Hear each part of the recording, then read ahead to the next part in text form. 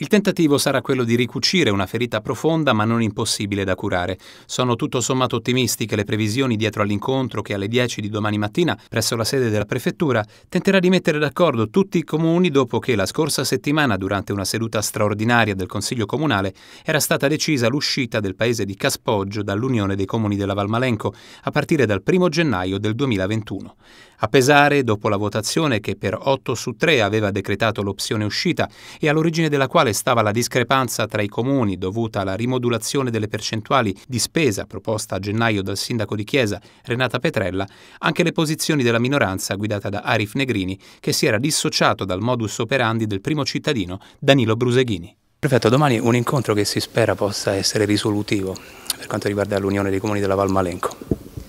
L'auspicio è quello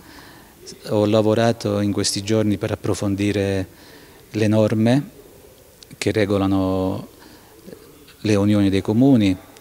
lo statuto di questa unione, ho ricevuto i sindaci in eh, momenti diversi e li incontrerò domani